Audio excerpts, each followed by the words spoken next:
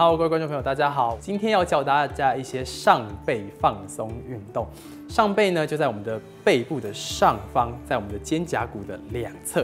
那这个地方的肌肉群呢，非常的难运动到。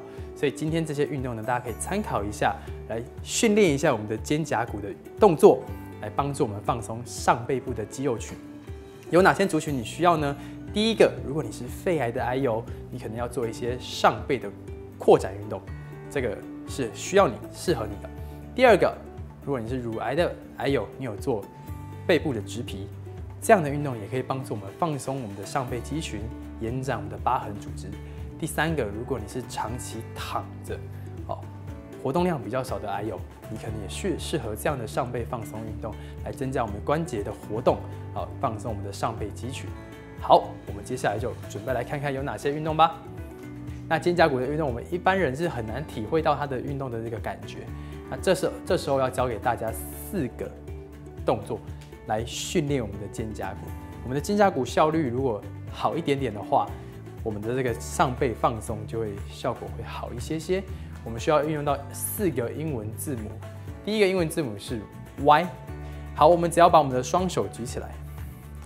比出一个像 Y 一样的英文字母，这时候呢，你的背夹紧，好，我们维持在这个姿势五秒钟的时间，五、四、三、二、一，好。如果你觉得你感觉不到那个感觉的话，请你做一个挺胸的动作，请你挺胸起来，尽量把它撑开来，背部夹紧，不要移动。好，我们再做第二个英文字母，叫做 T。好，把手水平的打开，一样背部夹紧，挺胸。五、四、三、二、一，好，来放松。第三个英文字母我们要用到的是 W。好，W 的话，我们要把两只手靠在我们的腰旁边。好，放轻松，挺胸，背夹紧。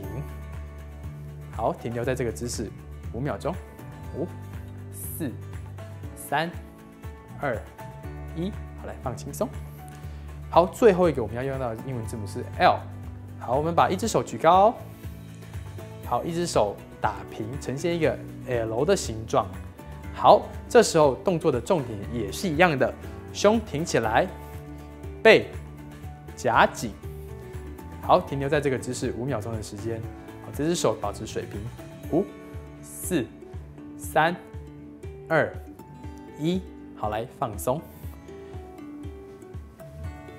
这四个运动呢，让大家可以放松我们的肩胛骨周边的肌肉群。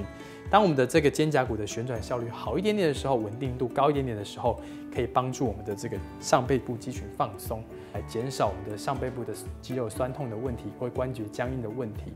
那怎么操作呢？其实就在家里。自己坐着、站着练习或坐着练习都可以。好，那时间呢？你可以把它分成三个时段，好，早、中、晚。好，每一个时段呢，每一个动作你可以做五次，每一次呢做五到十秒钟的时间。好，四个动作，让大家可以在家里练习，改善上背部肌肉酸痛或者是僵硬的问题。